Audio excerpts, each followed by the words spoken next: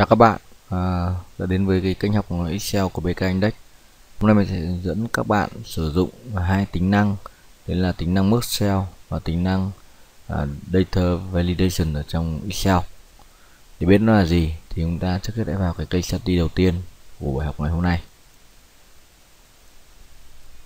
Một câu hỏi dành cho bạn đó là bạn đã biết cách khi bỏ merge cell thì tất cả các ô đều chứa giá trị merge chưa?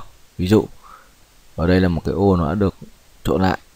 Thì sau khi ta bỏ ăn unmerge thì nó sẽ ra được uh, các ô trộn này như thế này.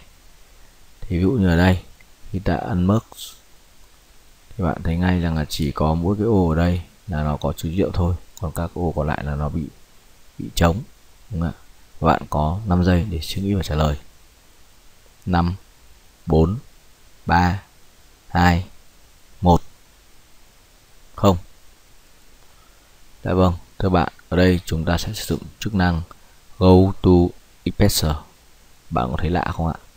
Nó ở trong tab Home, Editing và Go to Expressor.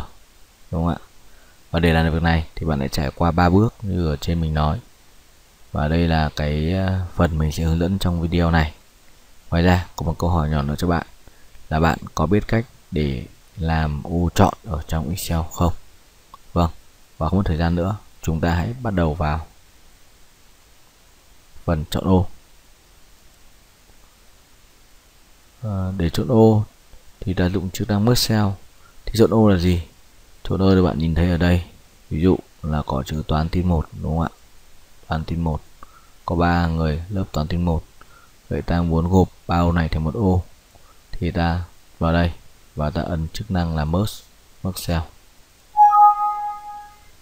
Đúng không? khi có nhiều trị như vậy thì nó sẽ hỏi là khi merge vào thì nó bị mất dữ liệu, ta có chấp nhận không? Ta ấn ok. Và thế ngay chữ toán tin một nó sẽ bực merge lại. Tương tự như vậy, ta có thể làm merge. Rồi ok. Và với toán tin, với toán tin hai. Đúng không ạ?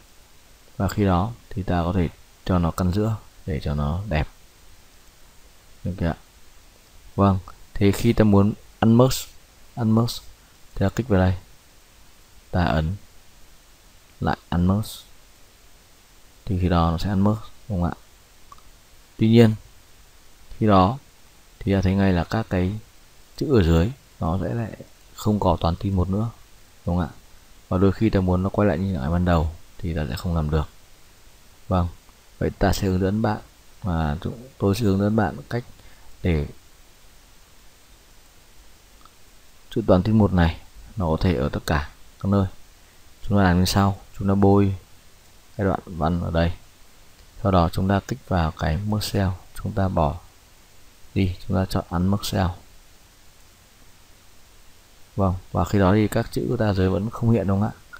Và ta sử dụng một chức năng tiếp theo là chức năng file and select. Bạn chọn vào go to expressor. Vâng chú ý là cái vùng dữ liệu ta vẫn bôi như vậy đúng không ạ? Và bọn chọn vào cái blank blank ok. Khi đó các blank nó hiện ra. Bạn gõ dấu bằng. Ô, ở trên. Sau đó bạn ấn tổ phím Ctrl Enter. Vâng thưa bạn. Và các dữ liệu đã được hiện ra cho chúng ta như bình như bình thường. Bạn có thể chọn lại khung để nó format đây chính là chức năng mà unmerge cell with overview value tức là các giá trị nó sẽ điền đầy vào cho bạn khi bạn bỏ unmerge đi Dạ vâng, chức năng này là một chức năng rất vô cùng đơn giản và các bạn hãy thực hành luôn để nó trở thành kiến thức của mình nhé.